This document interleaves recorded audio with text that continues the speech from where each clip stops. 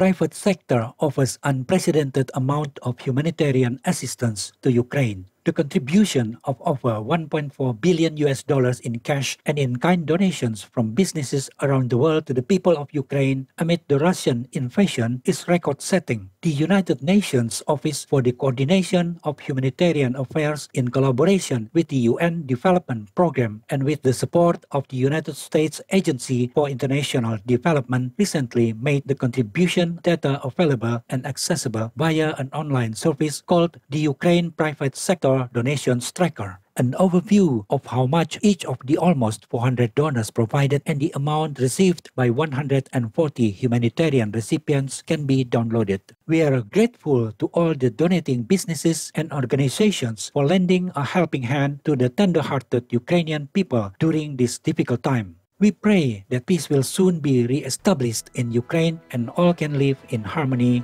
in God's righteousness. New study shows tropical dry woodlands are being deforested at rapid rate. A paper recently published by researchers from the Humboldt University of Berlin in Germany and the Earth and Life Institute of the Catholic University of Louvain in Belgium highlighted that since the year 2000, the world has lost over 71 million hectares of tropical dry forests, an area twice the size of Germany.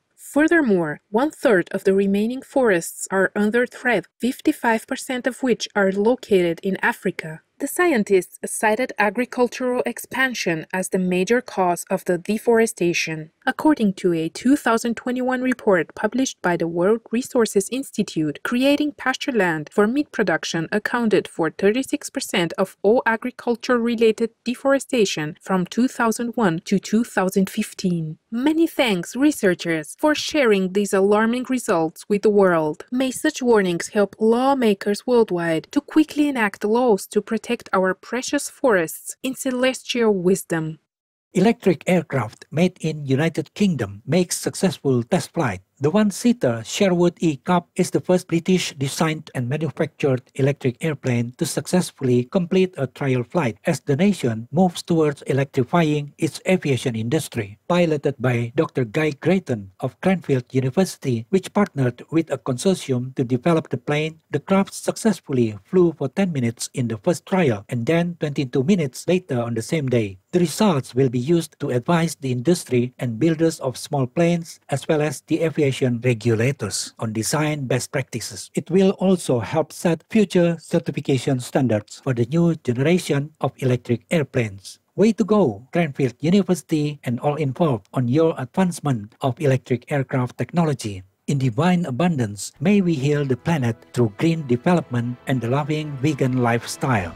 Researchers discover groundwater system below Antarctic ice. Scientists from the Scripps Institution of Oceanography at the University of California, San Diego, as well as Columbia University's Lamont Doherty Earth Observatory, both in the United States, have found a large reservoir of groundwater beneath the Whillans Ice Stream in West Antarctica. The discovery was possible using a method called magnetotellurics, which measures how easily electric charges can move through material below the surface. The scientists estimate that if all the groundwater was removed, it could form a water column 220 to 820 meters high. Aside from exploring possible groundwater systems under the whole continent in the future, this finding also opens an interesting research area for scientists to find out how underground water systems impact Antarctica's response to climate change and in turn sea level. What a remarkable discovery! May heavens protect you, dear scientists, as you continue to discover more secrets about our gentle Earth and inspire more humans to be kinder to her. Teenagers collect shoes for charity. Dario Gouveia, a ninth grader from Johannesburg, South Africa, and his sister Liana co-founded the non-profit Soul to Soul in 2017 when Dario saw a child on the street with no shoes. After that encounter, he wanted to help other children in that situation. Dario and Liana started with 14 pairs of gently used shoes and so far have collected over 185,000 pairs. The footwear they gather goes to orphanages, shelters, school children, underprivileged sports clubs, flood victims, and more. The hardworking and compassionate teenagers have launched a winter shoe drive hoping to supply adequate footwear to all the organizations they support Bravo, Dario, Liana, and all the others involved in this amazing project. May every child walk in comfortable shoes with confidence and happiness in the tenderness of the providence. Venue at center of Seattle, USA's music scene in 1980s and 1990s, now hosts vegan grocery store a space that once was an establishment called the OK Hotel, which was central to the Seattle grunge rock music scene in the late 20th century, now hosts the Isle of Plants vegan grocery store. Co-owners Michelle Rabena and Hayden Stanko, both 27 years old, are longtime vegans with plans to make the site a hub and meeting point for the city's vegan residents. Plant-based cooking classes, charity event meetups, and taste testing are planned to be held someday at the premises. Michelle and Hayden aim to open such vegan centers in other cities, states, and eventually globally. Way to go, Michelle Rabena, Hayden Stanko, on creating a new place where where vegans come to shop and meet. In the blessings of heaven, may your store introduce many in Seattle to the joy of compassionate choices and love for all.